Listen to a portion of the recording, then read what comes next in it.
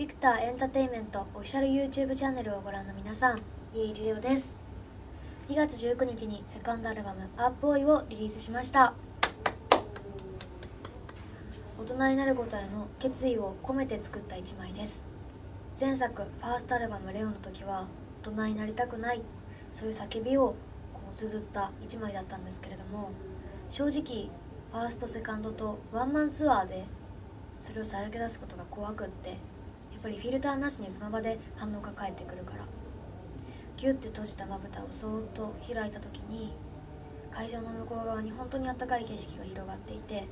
生まれて初めて心が震えました。私この景色とか雰囲気を守っていきたいなって思ったんです。おこがましいですけど。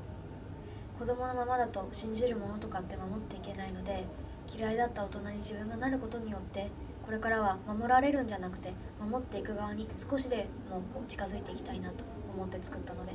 皆さん是非聴いてください。そして最近の私の近況ということなんですけど私最近こういろいろ本当に取材だったりとか受けさせていただいてる中で、うん、家に帰ってちょっとホッとするひとときがありましてそれは緑茶を自分で入れて飲んでる時なんですけどなんか買って飲むこともすごくいいのかもしれないですけど自分で入れるっていうところになんかこう心を落ち着かせる何かが私には存在するみたいで急須でちゃんとよそって飲むとなんか背筋がシャンって伸びるのでよかったら皆さんも緑茶飲んでみてください。健康にもすごくいいそうなので。そして3月からはサードワンマンツアー「あボーイ」が全国14カ所で決定しています。いろんな方と感情をぶつけ合って楽しいっていう気持ちだけじゃなくて切ないとか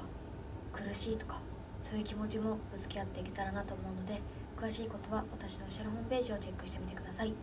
それでは家入レオでした。